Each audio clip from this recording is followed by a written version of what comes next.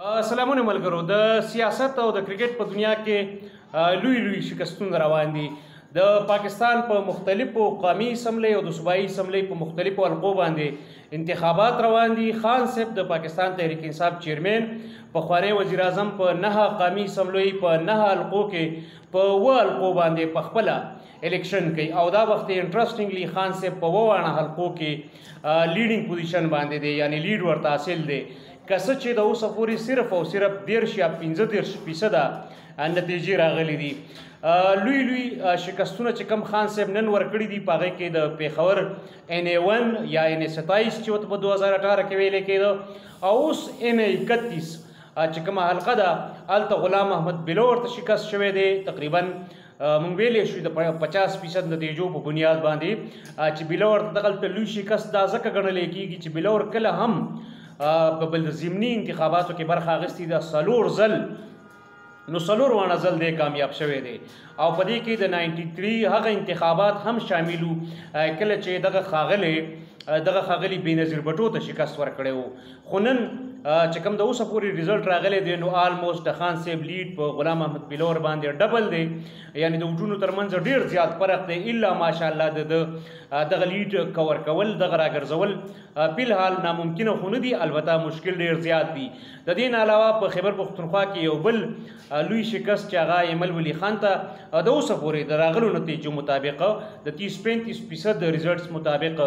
په ایمل ولي خان باندې هم ښاغلي عمران خان صاحب ته برتري حاصله ده او تاسو ته نن ریزلټ هم راځي غلام احمد بلور او دې دوران کې ماته ملګري ریزلټ راو چې غلام احمد بلور شکست تسلیم کو دا هم وی چې عمران خان له شکست ورکول مشکل نه بلکې ناممکن دي دا د ایکسپریس نیوز اوس تازه خبر ماته ملګری را مخامخ کو نو دا د پیښور کې غلام محمد بلور خپل شکست ومنو او دا هم وی چې خان له شکست ورکول ګران کار دی دین علاوه ما خبره کوله د ایمل ولی خان د نشست نو دا هم ډیر زیات لوی نشست دی د خیبر پښتونخوا په سیاست د دې پراتلونکو کې ډیر زیات اثرات پریوزي وجه دا ده چې دغه نشست د سل یو نیم سل کالونه په دغه باندې د باچا خان خاندان سیاست کوي په دغه نشست باندې په دغه حلقه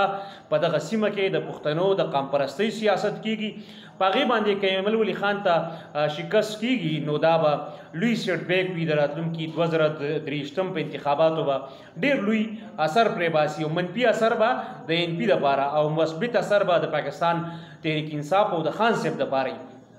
اوس خان صاحب ته چې څوک په والقو کې په مقابله کې دي نو لږ ډېره مقابله د هغه په ملیر کراچۍ کې روانه ده او د دې ترڅنګ په ننکانا صاحب په ننکانا صاحب پنجاب کې یو زنانا د مسلم لیګ نون هغه لګ ډیره مقابله کوي نو دا څه ښکاری چې په وو کې په 15 سیټونو باندې خان صاحب نه صرف لیډ اغسته دی بلکې یقینا یقیني ګټه طرف روان دی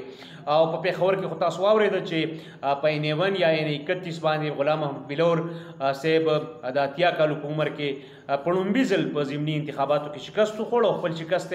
نه صرف تسلیم کو بلکې دا هم وی چې خان صاحب ته شکست ورکول ګران کار دی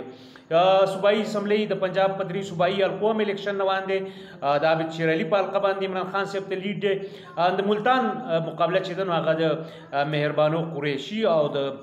ښاغلي ګیلاني د زوی موسی ګیلاني ترمنځ ده هلته هم نیک ټو نیک مقابلې امکان دی خو زیات فوکس چې دی نو هغه د خان صاحب په القو باندې د خان صاحب د القو ریزلټس ما تاسو ته مخامخ کې خو دا به د ملک په سیاست باندې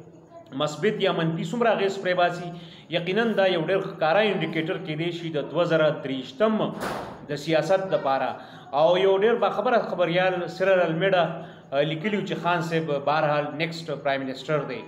نو که دا ریزلټ وي د خلکو دا ټرینډز وي د الیکشن د انتخاباتو دا نتیجې وي نو واقعي د بیا د سره میړه خبره سمه ده